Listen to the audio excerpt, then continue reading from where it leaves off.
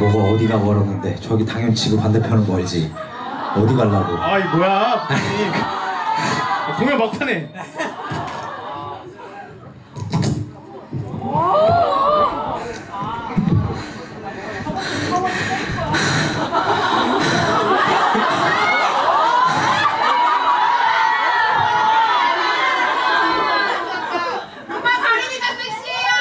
아, 이제야 잘생겼다 소리를 듣는구나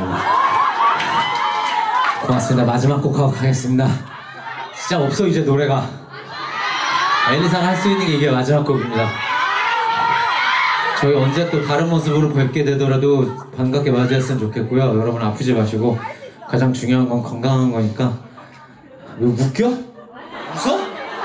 저 웃음이 나와? 누가 웃었어? 부장님 자제 자제하세요 어, 예, 잠깐만요. 어떡하냐 네.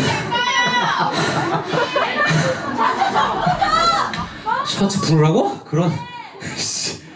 마지막 곡 에? 마지막 곡인 게 싫어서 그러는 거예요 지금? 그냥 없어요 노래가 로맨틱 펀치 엿 같은 로맨틱 펀치 마지막 곡 건강하세요 아!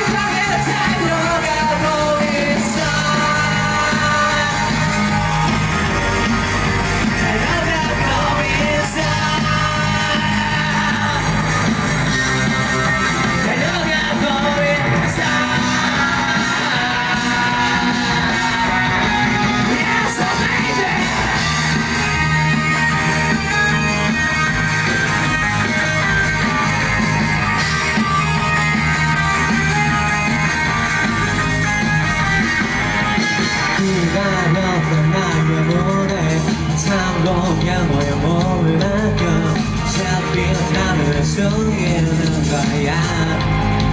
baby 너